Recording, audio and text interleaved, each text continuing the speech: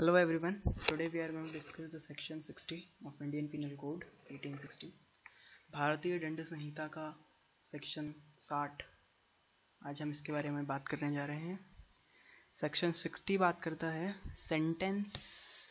may be in certain cases of imprisonment wholly और partly rigorous और simple sentence का मतलब होता है पनिशमेंट कौन सा पनिशमेंट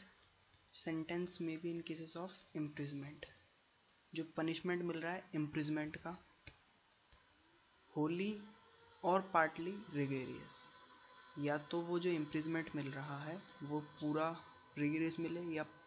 आधा पार्टली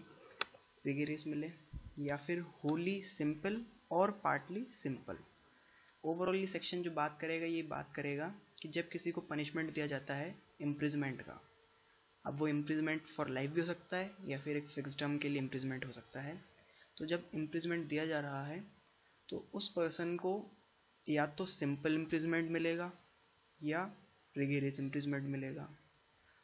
और ऐसा भी हो सकता है कि सिंपल इम्प्रिजमेंट कुछ टाइम के मिले, कुछ टाइम के लिए सिंपल इम्प्रिजमेंट मिले और कुछ टाइम के लिए रिगेरियस मिले। या फिर ऐसा भी हो सकता है कि पूरे टाइम के लिए रिगेरियस इम्प्रिजमेंट मिले और पूरे टाइम के लिए सिंपल इम्प्रिजमेंट मिले।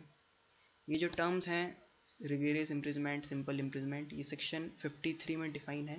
आप वहाँ पे जाके वीडियो देख सकते हैं सेक्शन 53 का। रिगेरियस इम्प्रिजमेंट जो होता है, उसमें एक पर्सन को हार्ड लेबर कराया जाता है। और ज़्यादा कार्य कराया जाता है जब उसको इम्प्रिजमेंट होता है, जब उसको कारावास मिलता है। तो अब सेक्शन बात करता है। In every case in which an offender is punishable with imprisonment her case में जहाँ ऑफेंडर जिसने ऑफेंस किया है पनिशेबल जिसको पनिशमेंट मिला है, अपराध की सज़ा मिली है विथ इम्प्रिजमेंट कारावास की सज़ा मिली है which may be of either description जो किसी भी डिस्क्रिप्शन आयदर डिस्क्रिप्शन का मतलब होता है कि वो रिगेरियस इम्प्रिजमेंट भी हो सकता है और सिंपल इम्प्रिजमेंट भी होता है. That is the meaning of either description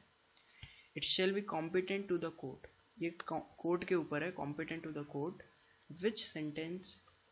such offender to be direct in the sentence that such imprison, imprisonment shall be wholly rigorous or that such imprisonment shall be wholly simple or that any part of such imprisonment shall be rigorous or the rest and the rest simple तो ये वही वाली बात कर रहा है कि जो ऑफेंडर को इम्प्रिजमेंट मिल रहा है या तो पूरा रेगरियस मिल जाए या पूरा सिंपल मिल जाए या फिर कुछ पार्ट रेगरियस मिल जाए और कुछ पार्ट सिंपल मिल जाए वही जो तीन कंडीशन मैंने आपको बताई एक केस था। State versus Ratan Singh A I R nineteen Supreme Court 1552 इस केस में बताया गया कि जब किसी को भी इम्प्रिजमेंट फॉर लाइफ मिल रहा है, यहाँ पे जो टर्म है इम्प्रिजमेंट यहाँ पे ये डिसाइड नहीं कर ये नहीं क्लियर किया है कि ये इम्प्रिजमेंट फॉर लाइफ के लिए या फिर एक पर्टिकुलर एक्सप्रेस जो टाइम है उसके लिए। तो यहाँ पे इम्प्रिजमेंट फॉर लाइफ और एक टाइम पीरियड फिक्स वाला इम्प्रिजमेंट जो है,